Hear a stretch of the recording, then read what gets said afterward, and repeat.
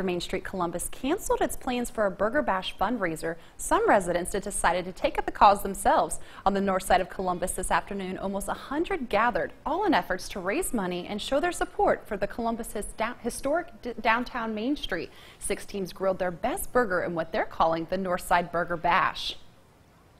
Well, Main Street does a lot for our city, and without the Main Street organization, Main Street Columbus, it, would be a, a, a, much worse situation in downtown. So we wanted to do something to get them some, some money, some money to support the, uh, the, organization. I came out today to support Main Street Columbus. Um, I am just recently met Colin and heard that the event was canceled, and we're here today to bring awareness to Main Street Columbus and support our local neighbors.